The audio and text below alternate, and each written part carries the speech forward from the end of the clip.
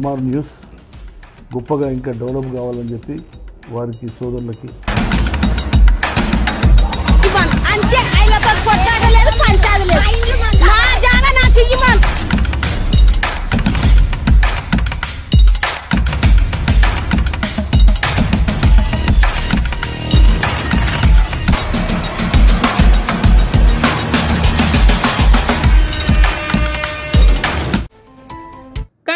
Constituency के Congress party के लिए 30 सालों से काम करने वाले सीनियर लीडर एडवोकेट विनोद ने कल कांग्रेस पार्टी के गांधी भवन में कंटोनमेंट कॉन्स्टिट्यूएंसी से एमएलए एस्पिरेंट के लिए अपना बायोडेटा एप्लीकेशन सबमिट किया और इसके ताल्लुक से आज उनके घर वार्ड नंबर टू रसुलपुरा में प्रेस मीट रखी, जिसमें उन्होंने बताया कि वो पार्टी को 30 साल से खिदमत कर रहे हैं।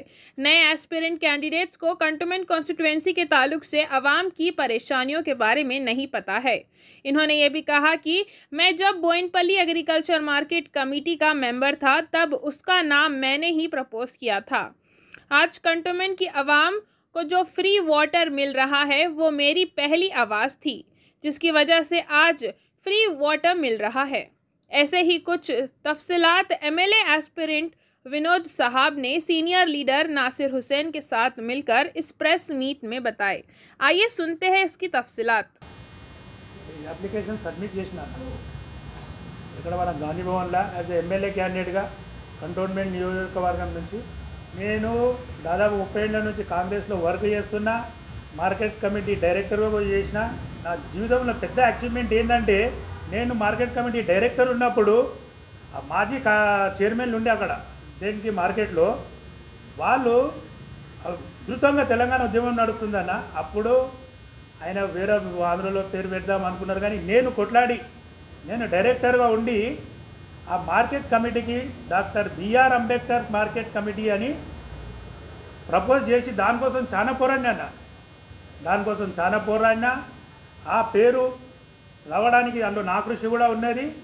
ఇంకోటి కంటోన్మెంట్ విషయాల కంటోన్మెంట్ సమస్యల మీద ఇప్పుడు వేరే ఆస్పిరెంట్స్ చాలామంది ఉన్నారు చూస్తా ఉన్నా.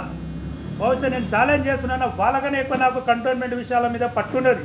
కంటోన్మెంట్ మీద ఎక్కడెక్కడ ఏ గల్లీలా ఎనిమిది వాళ్ళ వన్ ఫిఫ్టీ ఇండివిజువల్ కొత్తగా వచ్చిండొచ్చు కానీ అన్ని వాళ్ళ ఏ సమస్యలు నాకు బాగా తెలుసన్నా? ఎందుకంటే నేను ప్రతాప్ అన్న వైస్ ప్రెసిడెంట్ ఉన్నప్పుడు కూడా ఆయన అనుచరుడిగా తిరిగిన మళ్ళా అప్పటి నుంచి పట్టుకుంటే మా వార్డ్ టూలో కేశవరెడ్డి సార్ ఉన్నప్పుడు కూడా ఆయన వైస్ ప్రెసిడెంట్ ఉన్నప్పుడు కూడా ఆయన అనుచరుగా తిరిగిన. ఎందుకంటే వాళ్ళ వాళ్ళు ఎంబడి తిరిగినప్పుడు ఎక్కడెక్కడ ఏం సమస్యలు నాకు చాలా ఇది ఉన్నది. రీసెంట్లీ కూడా నేను రామకృష్ణతో కొట్లాడి నేను ఎన్ని రోడ్లు వేయించినా ఎన్ని డ్రైనేజ్ వేయించినా బహుశా మీ అందరికీ తెలుసన్నా.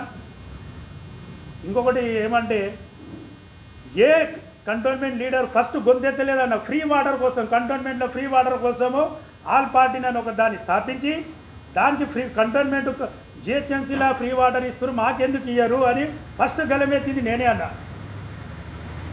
ఇది ఫస్ట్ పాయింట్ ఆ రోజు నుంచి కొట్లాడితే నేను ఎక్కడ పోయినా రామకృష్ణ ఉండని ఎవరు ఉండని ఫ్రీ వాటర్ ఫ్రీ వాటర్ అని. ఈవెన్ నేను మా మన దివంగత ఎమ్మెల్యే సా సాయన్న గారితో కూడా నేను చాలాసార్లు డిస్కస్ చేసిన.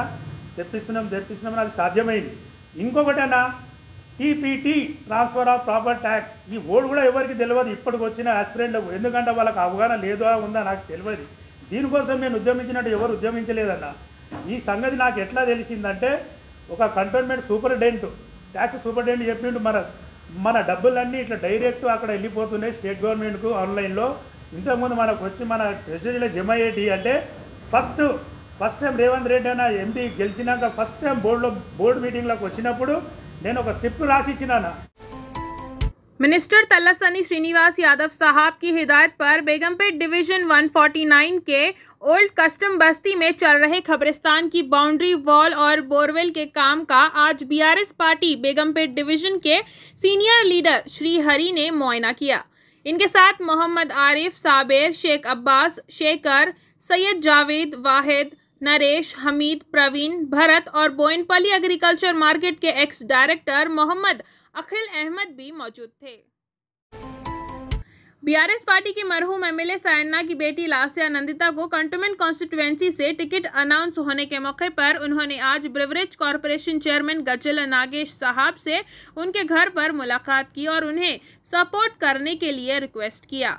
इनके साथ इस दौरान बोइनपाली एग्रीकल्चर मार्केट के ex chairman T N Srinivas, senior leader Narasimha Mudiraj, Sadanand Goud, Pansa Santosh, Bhaskar Mudiraj, Murali Yadav, Nitya Anand, Ravula Satish, Rahul, Jangili Raju, Nagesh Yadav भी मौजूद थे। चंद्रयान थ्री की सेफ़ लैंडिंग चाँद के south pole में होने के मौके पर कंटोनमेंट बोर्ड के इलाके न्यू बोइनपल्ली के ऑक्सफर्ड स्कूल में सेलिब्रेशंस करते हुए एक रैली निकाली गई, जिसमें ex vice president Jampana Pratap ने हिस्सा लिया और कहा कि स्टूडेंट्स को चाहिए कि साइंस और टेक्नोलॉजी में इंटरेस्ट ले और अपने देश का नाम ऊँचा करे। इनके साथ इस प्रोग्राम में ऑक्सफर्ड स्कूल के प्रिंसिपल राजू और टीचर्स भी मौजूद थे।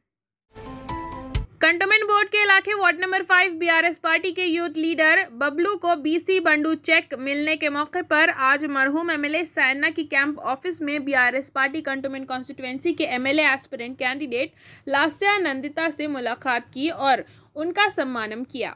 इनके साथ BRS party ward number five के president Kiran Kumar, general secretary Penta Srihari और बीआरएस पार्टी के कार्यकर्ता भी मौजूद थे। एक्स वाइस प्रेसिडेंट सदा केशव रेड्डी साहब ने आज वाटर वर्क्स डिपार्टमेंट के एई शशांक के साथ मिलकर वार्ड नंबर टू गन बाज़ार और इंडियन एयरलाइंस गेट के इलाके का दौरा किया और वहाँ की आवाम से मुलाकात करते हुए उनकी तमाम परेशानियों को सुना। वहाँ की आवाम ने इन्हें बताया कि पानी टाइम पर नहीं आ रहा है और प्रेशर भी कम आ रहा है, जिसकी वजह से उन्हें बहुत परेशानी हो रही है।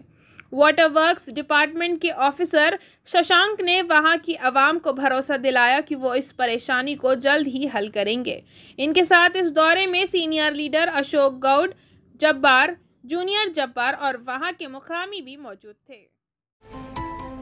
सिकंदराबाद कंटोनमेंट बोर्ड एम्प्लॉयज़ की कई दिनों से चल रही एम्प्लॉयमेंट के ताल्लुक से परमानेंट करने की डिमांड और इसके ताल्लुक से की गई कई मीटिंग्स आज सफल हुई। तफसीलात के मुताबिक कंटोनमेंट बोर्ड एम्प्लॉयज़ यूनियन के जनरल सेक्रेटरी परशुराम साहब ने अपने वन नॉट टू एम्प्लॉयज़ को तेरह साल से काम कर रहे, उन्हें परमानेंट करने के ताल्लुक से पिछले महीने एम्प्लॉयज़ की स्ट्राइक करने की नोटिस दी थी, जिसके चलते कंटोनमेंट बोर्ड हरकत में आया और एक मीटिंग रखी गई, जिसमें सीईओ भूपति रोहित, विजय कुमार बालन नैर, अकबर अली, नरसिंह राव और यूनियन के लीडर्स महेंद्र परशुराम साहब राजेश राजकुमार राजू और सुरेश ने हिस्सा लिया इस मीटिंग में ये फैसला आया कि फॉरन 29 एम्प्लॉयज़ को अपॉइंटमेंट दी जाए और बाकी एम्प्लॉयज़ को भी जल्द ही पूरी कार्रवाई करते हुए अपॉइंटमेंट दी जाए आइए सुनते हैं इसकी तफसीलात స్ట్రైక్ నోటీస్ ఇవ్వడం జరిగింది గత నెల పద్నాలుగో తారీఖు స్ట్రైక్ నోటీస్ ఇచ్చాము దీనికి అనుగుణంగా నిన్న మన principal director southern command Pune వారు కంటోన్మెంట్ బోర్డుకు లెటర్ పంపించారు ఏంటంటే ఇమీడియట్లీ రిక్రూట్మెంట్ చేపట్టమని అట్లాగే నిన్న లేబర్ కమిషనర్ వారు సెంట్రల్ గవర్నమెంట్ లేబర్ కమిషనర్ వారు నిన్న సీఓ గారిని ఈయన నుంచి మమ్మల్ని పిలిచి నిన్న సుదీర్ఘమైన చర్చలు జరపడం జరిగింది. ఆ చర్చల తర్వాత రిజల్ట్స్ ఏంటంటే ఇమీడియట్లీ ఇరవై తొమ్మిది మందికి కం కంటోన్మెంట్ బోర్డులో కంపాషనేట్ అపాయింట్మెంట్స్ చేయాలి. అట్లాగే మిగతా డెబ్బై మూడు మందికి పూనా వారికి లెటర్ రాస్తూ ఆ రిక్రూట్మెంట్స్ కూడా ఇమీడియట్లీ చేపట్టాలని ఆర్డర్ ఇవ్వడం జరిగింది. ఇది మా కంటోన్మెంట్ బోర్డ్ ఎంప్లాయీస్ యూనియన్ చరిత్రలో గొప్ప విజయంగా ఆవిర్భవించుకుంటూ మీకు అందరికీ ధన్యవాదాలు